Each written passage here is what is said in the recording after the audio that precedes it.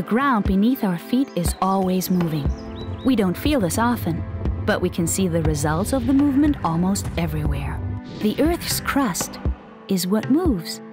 Our planet's outer shell. It is not one piece, but instead is made of individual puzzle pieces, plates.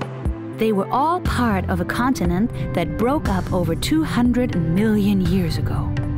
Since then, it hasn't stopped moving. This is called tectonics. Plates move slowly, as fast as growing fingernails.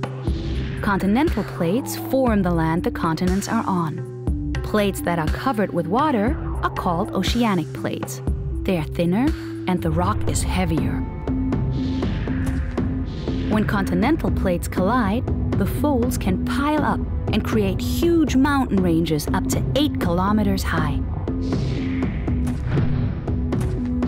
An oceanic plate pushes itself under a continental one. It disappears into the Earth's hot mantle, creating an ocean trench up to 8 kilometers deep.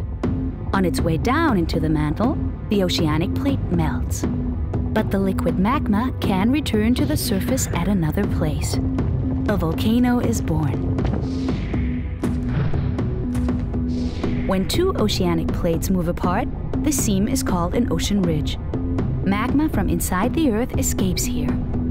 This drives the plates further apart and makes them grow. Plates that glide past each other can get tangled up and stick. When they separate, the Earth shakes.